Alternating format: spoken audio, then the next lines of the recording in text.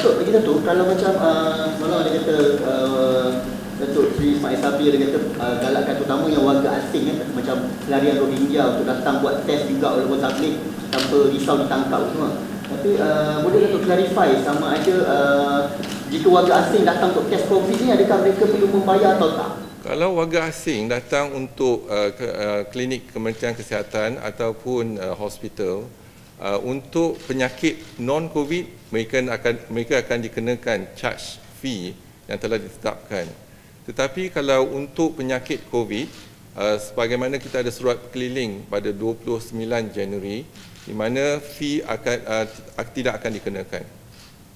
Sama ada warga asing yang miskin ataupun kaya sama.